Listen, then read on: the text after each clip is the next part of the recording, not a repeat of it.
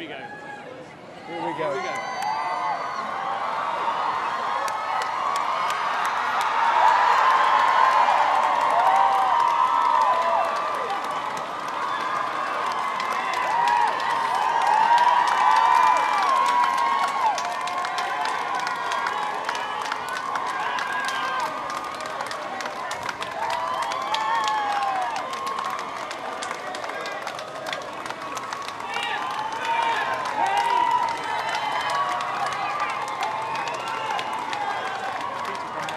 Yeah. I'm going to do the first. Now, we're cool with that.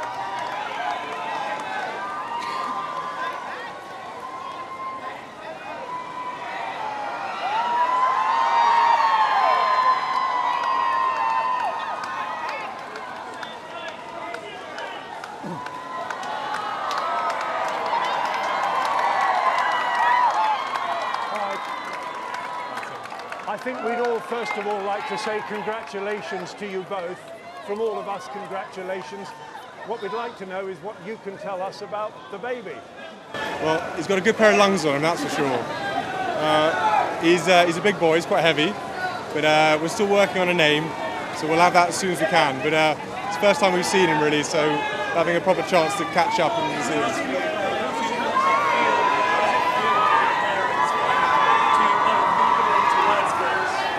Very emotional. Yeah, it's very emotional. It's such a special time. I think any any parent, I think, will probably sort of um, know what this feeling feels like. So it's Very special.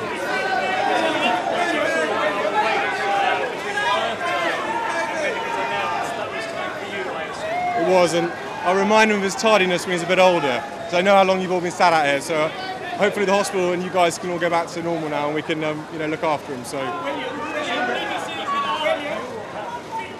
got her looks, thankfully. No, no, no, no. I'm not sure about that. Go on, Bobby, send it to you. Send it to me. Wait and see, Peter. Wait and see.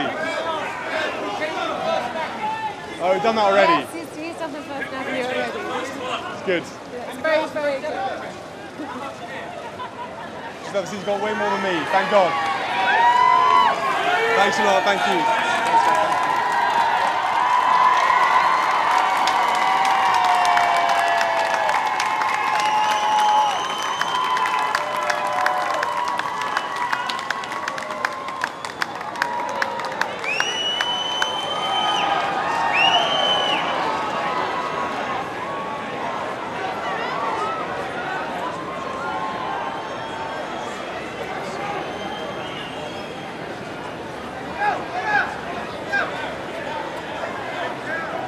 carefully uh, put in his baby seat uh, for the process of being put in the back of the Royal Range Rover, and here he comes in his baby seat.